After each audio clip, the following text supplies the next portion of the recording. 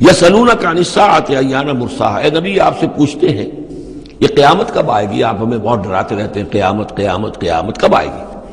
کب لنگر انداز ہوگی؟ قل انما علم عند ربی۔ کہہ دیجیے، اس کا علم تو میرے رب کے پاس ہے۔ لا یجلیہا لوقتہا الا ہو۔ نہیں روشن کرے گا اسے اس کے وقت پر مگر خود وہ۔ اس کا وقت سوائے اللہ کے کسی کے علم میں نہیں۔ کسی فرشتے کے علم میں نہیں ہے، کسی کے علم میں نہیں ہے۔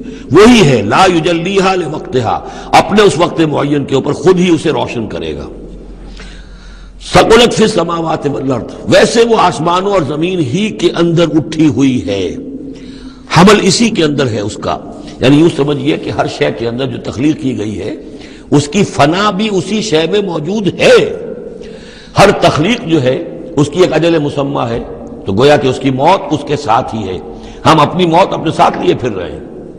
اسی طرح یہ کائنات جو ہے، جس کی تخلیق کی گئی ہے، یہ گویا کہ وہ جو جیسے کسی کا حمل ہوتا ہے، عورت کا، وہ حمل لیے پھر رہی ہو، اسی طریقے سے یہ کائنات اپنی اس قیامت کو اٹھائے پھر رہی ہے۔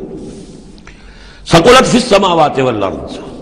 لا تاتیکم الا بغتتن لیکن نہیں آئے گی تم پر مگر اچانک۔ یا سلونہ کا کاننا کا حفیون عنہ۔ اے نبی، آپ سے تو یہ اس طرح پوچھتے ہیں، گویا کہ آپ اس کی کھوج میں لگے ہوئے ہیں۔ آپ کو یہی فکر دامن گیر ہے، قیامت کب آئے گی؟ حالانکہ آپ کا اس سے کوئی سروکار نہیں۔ یہ ہمارا معاملہ ہے۔ قل انما علمها عند اللہ، کہہ دیجیے۔ اس کا علم تو صرف اللہ کے پاس ہے، ولیکن اکثر الناس لا يعلمون، لیکن اکثر لوگ علم نہیں رکھتے۔